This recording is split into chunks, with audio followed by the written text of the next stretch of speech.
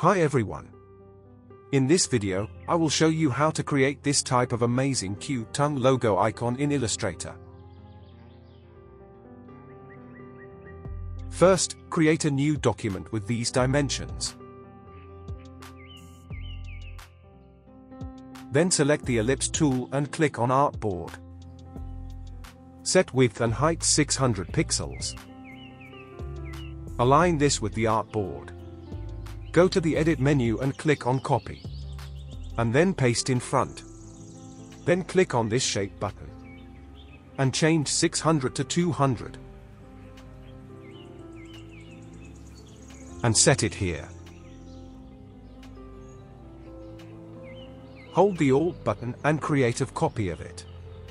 And set it here. Now select the line tool. And draw a straight line here. Hold the Alt button and create a copy of it. Increase its stroke weight. Hold the Alt button and create a copy of this circle. And draw a line here. Now select all and go to the Shape Builder tool. Set stroke to none, and fill to black.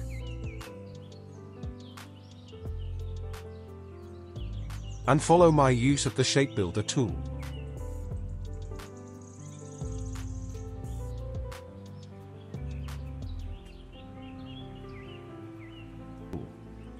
Now go to the Direct Selection tool. Select these three shapes. And click on the cut. Select remaining lines, and hit delete.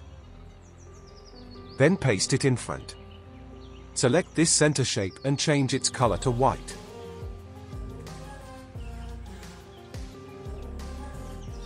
And change tongue color to red.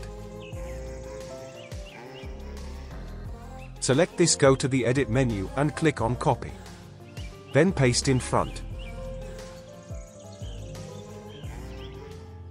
Apply a gradient to it.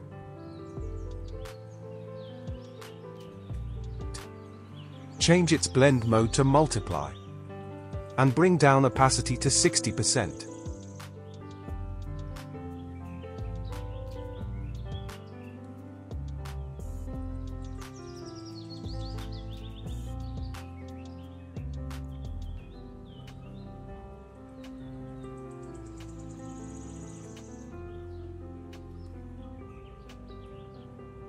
And that's it.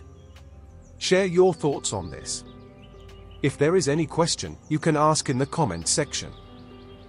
Make sure you head over to my YouTube channel, where I upload graphic related tutorials.